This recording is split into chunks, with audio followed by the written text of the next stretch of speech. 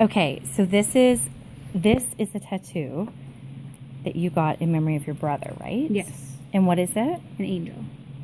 Okay, and then you chose out of like a hidden Yeah. basket that you couldn't see, you chose this little angel wing. And look how it lines up. It's perfect. Almost identical. Over top of that. That was so fuzzy. That's amazing. Mm. That's his way.